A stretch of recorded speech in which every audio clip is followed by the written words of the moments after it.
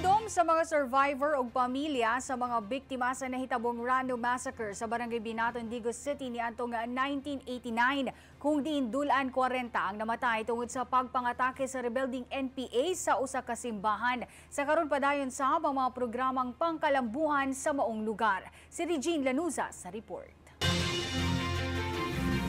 31 na katuig ang nilabay apan presko paghihapon sa nauna ni Helen Dominguez ang mga panghitabo ni atong June 25, 1989.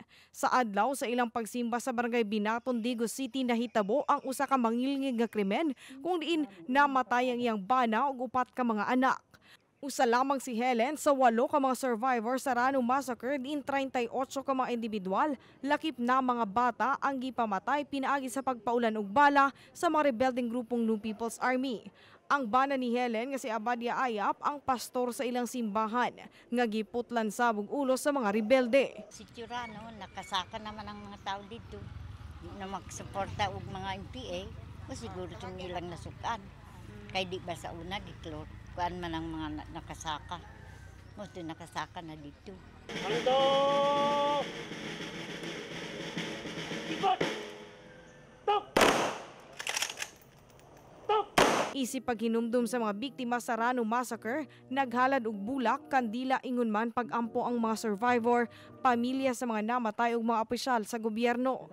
Gipangunahan kini ni PCOO Undersecretary Lorraine Badoy, kinsa spokesperson sa National Task Force to End Local Communist Armed Conflict kon NTF-ELCAC. Gibutyag ni ini nga panahon na aron himuong balaod ang anti-terrorism bill aron dili na mausab pa ang susamang panghitabo. yung itong Ya- Rano Massacre, ah, wala akong ano, wala akong duda na nasa isip ito ni Pangulo nung nung, sin- nung sinabi niya na gawing urgent yung anti-terrorism bill kasi grabe yung mga nangyari dito. Gibutyag sab sa commander sa 102nd Infantry Brigade nga si Colonel Potenciano Camba nga mismong ang mga residente nasa maong lugar ang buot nga mawala na ang presensya sa NPA busa wala nay suporta nga makuha ang rebelding grupo sa komunidad. Padayon sab ang mga programang pangkalambuan sa lugar sama na lang sa pagpasemento sa mga kalsada.